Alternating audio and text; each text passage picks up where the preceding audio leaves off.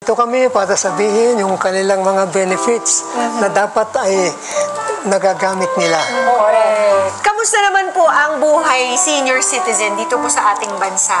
Masasabi po ba natin na maginhawa po ang buhay dito? Bago tayo magpatuloy, huwag kalimutang mag-subscribe sa aking channel.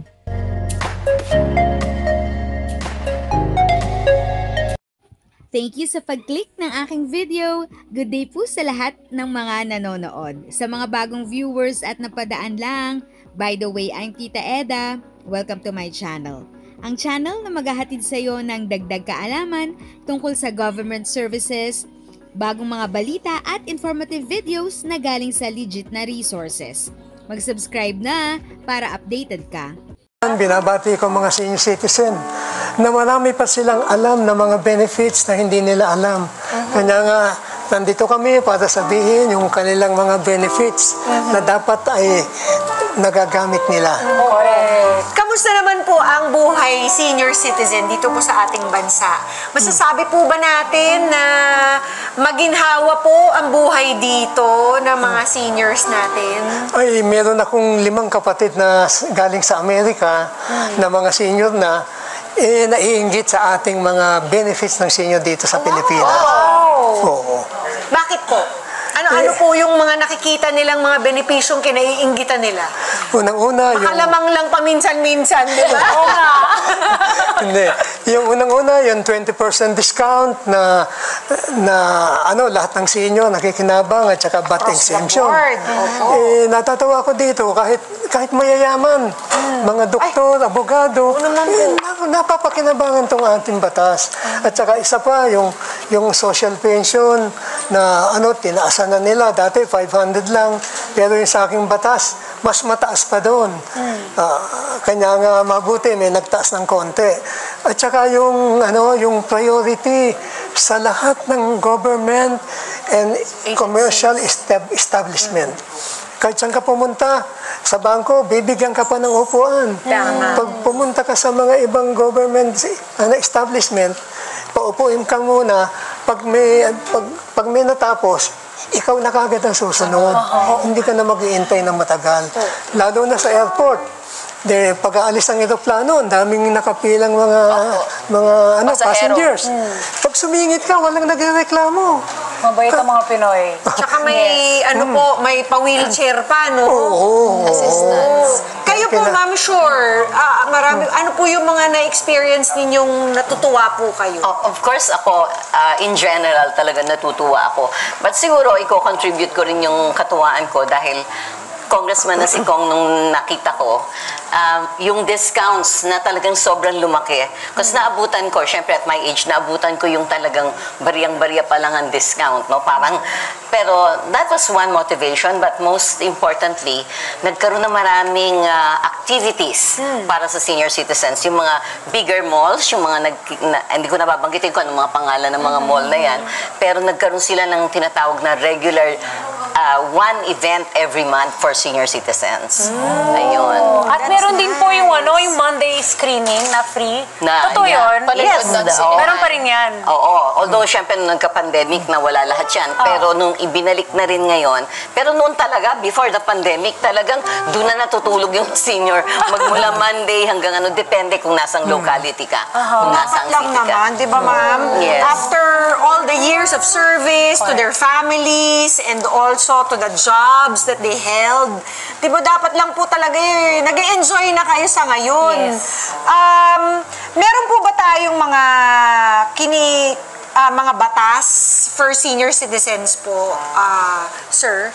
Ay, ang, ang daming batas para sa senior citizen. Ang pinakamahalaga, itong 9994 dahil ang laki ng sakop nito. Yung mga discount pati sa sa pagkain, sa mga gamot, tsaka Hotels. sa mga sine, sa mga sa Hotel. mga Hotels. hotel, sa mga ah, ano transportation. Napakalaki ng sakop nito. Kanya nga, pero marami pang kulang.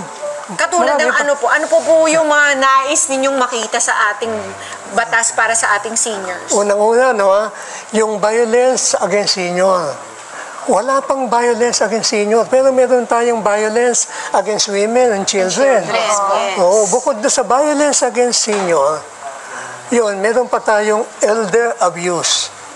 Dahil kasi pag matanda na tayo, kapag matanda na kami, buti na lang yung mga anak ko sumusunod sa akin. May mga pamilya na yung pag matanda na yung kanilang magulang, ayaw na sumunod ng mga anak nila. Oo, kumisan, uutusan. Ayaw, uwi ka maaga, lalong ginagabi. Ah, yun ang tinatawag na psychological and emotional abuse. ang pangatlo, yung financial abuse. Yes. Yung mga mga nagpakahirap, nagtrabaho hanggang gabi, nakaipon. Pag matanda na, pinag-aagawan ng kanilang mga anak. Oo, kung sino, kung, kung sino yung, yung anak na matapang. Maraming nakukuhang pamana. Eh, wala tayong batas doon eh, para ano eh. Yung pangatlo, yung right abuse. Yung right abuse na yon ay pinakikialaman na kami ng aming mga anak. Halimbawa, ha- during our, our meeting, ano, maraming nagtanong sa akin, kung, eh, ano, matagal na akong biyudo, ha? gusto ko pang mag-asawa, ayaw ng mga anak ko. Ala. Oo, ayaw, pinakikialaman sila. Dahil, eh, tsaka yung mga movement nila, halos kinokontrol ng kanilang mga anak. At pangapat, yung ah, neglect and abandonment. Halimbawa, pinag-aral mo yung anak mo, pagkatapos, nakatapos, sasabihin sa'yo, magtatrabaho ko sa ibang lugar. Pagkatapos, hindi ka nabibigyan, hindi ka nasusuportahan. So ano pong Neglect. ginagawa, sir, para ma i- isabatas po itong mga de- ah, demands po or mga requests po ng ating mga seniors? Yun, naiwan ko yun nung aking, ano, dahil kasi, ang batas kasi matagal din eh. Buti, during my term, nakapasa ako ng dalawang batas. Kanya nga, Ito isinusulong na po. oo, yan ang, ano, isang panukala. Oo, yun ang, yung ang National Senior Citizens Commission. Sa akin din galing yun. So ano na naman po yung ini-enjoy ninyo ngayon, these days? Eh, gumagawa ako ng mga libro ah, dahil kasi, an- pero consultant din ako. Ako ngayon ang chairman ng ang tinig ng senior citizens sa Pilipinas. Itong ang tinig na ito, sumbungan to. Sumbungan ng mga hindi, yung mga establishment at saka Na mga hindi LGs tumutupad. na hindi tumutupad sa batas. Okay. Parang yung isang programa sa TV. Oo, Di so- ba? Sumbungan. Oo. So, sir, why don't you go ahead po and uh, remind po our kadas na seniors kung saan po yun pwedeng mahanap para meron po silang sumbungan.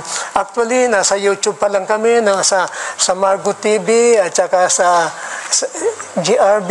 GRB TV. O, meron din kaming sa ano sa DWVL. Pero uh, later on, maglalagay na kami ng ano on, online Aha. na Ano pong pangalan ulit nung ang tinig ng senior citizens pwede sa pong, Pilipinas. ha, pwede pong hanapin yan sa YouTube? Ang Meron, tinig oo. ng Oo. senior, Senior citizens citizens sa Pilipinas. Sa Pilipinas. Oo.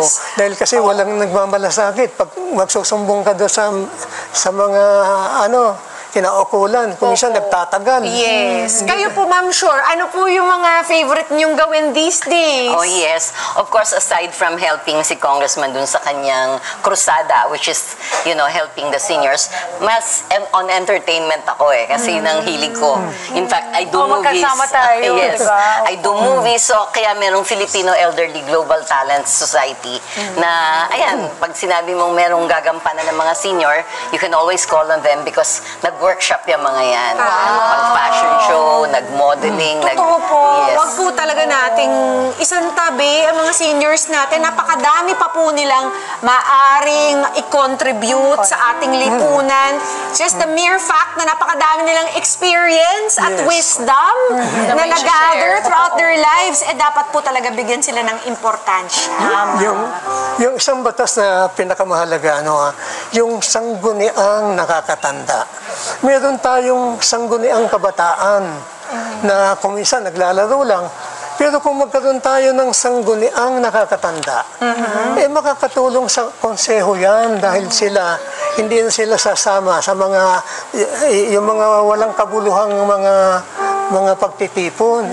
Tama Kanya po. nga, Tama po. yung pag nagkaroon ng sanggunian, nakakatanda, meron niyang knowledge, may wisdom, may experience. Yes, doon po talaga tayo natututo. Oo. Maraming salamat, salamat po, Tito po. Godofredo and Ma'am Sure Mariel. Maraming maraming maraming maraming salamat po sa inyo. Marami pong Thank natutunan you. yung mga kada natin, right? Oh, thank you sa inyong time. At mga kada, ang pagtanda ay hindi natin maiwasan at hindi rin dapat nating kinatakutan yan. Imbis na matakot po tayo, dapat ay gawin natin ang lahat para pagandaan yung panahon na tayo ay magiging senior citizens na.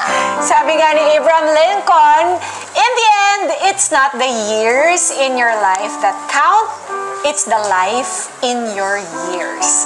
Maraming salamat po, Ma'am Shore at Sir Godofredo sa pag-share po ng inyong mga buhay bilang senior citizens at sana po eh, ma-actionan na po yung mga ilan pa ninyong request sa lalong madaling panahon.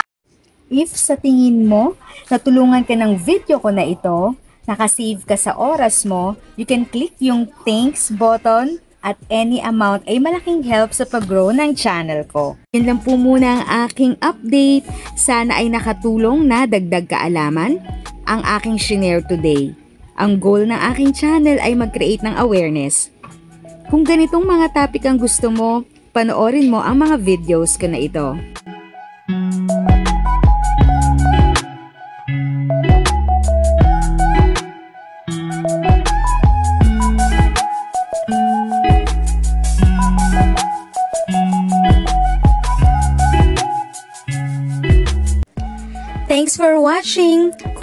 Kapamilya, kaibigan o kakilala sa tingin mo ay magiging interesado sa video, please share or tag sila sa comment section.